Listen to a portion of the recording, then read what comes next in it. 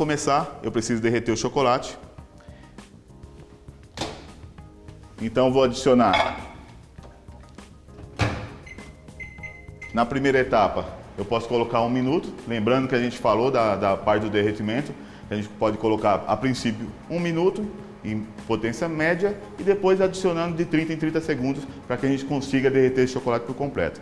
Lembrando que como eu não vou utilizar a parte da têmpera, como é uma, uma receita de, de trufa para recheio, então não preciso temperar o chocolate, eu só preciso que ele derreta por completo.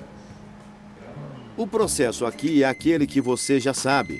Passado o primeiro minuto, retira-se do micro-ondas. Mistura e volta ao micro-ondas por 30 segundos. Após esse tempo, retira-se, mistura e repete o processo até derreter todo o chocolate por completo. Lembrando que, como este chocolate não será temperado, não será necessário aquecê-lo até 45 graus. O importante é derretê-lo por completo, sem deixar grumos. Agora sim, nosso chocolate já está totalmente derretido. E agora nós podemos adicionar o nosso creme de leite e também o suco de maracujá.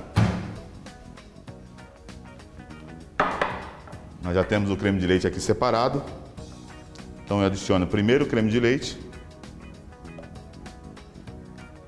De uma única vez.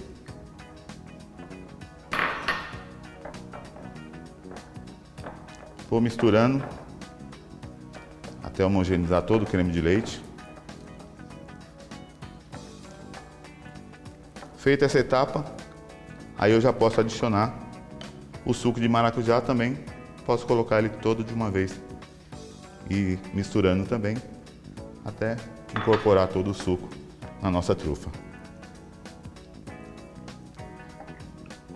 Sempre mexendo com cuidado. E aí para finalizar, deixar a nossa trufa mais homogênea, você pode utilizar um fouet para que a gente consiga deixar mais homogêneo. Facilita mais o trabalho.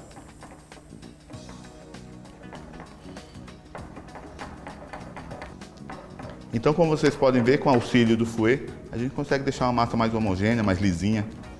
Isso facilita o nosso trabalho também.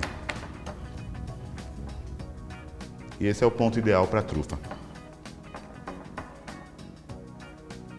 E agora, finalizada a trufa, a gente vai levar ela para a geladeira. E para fazer isso, você tem que adicionar um plástico filme sobre essa trufa.